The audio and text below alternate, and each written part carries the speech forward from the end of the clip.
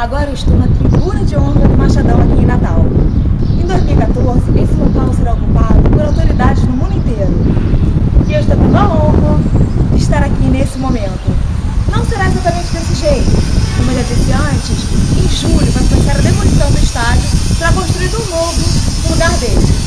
Mas certamente eu posso afirmar para vocês que é uma emoção muito grande estar aqui pouco antes desse estádio ser demolido. Olha que estádio lindo.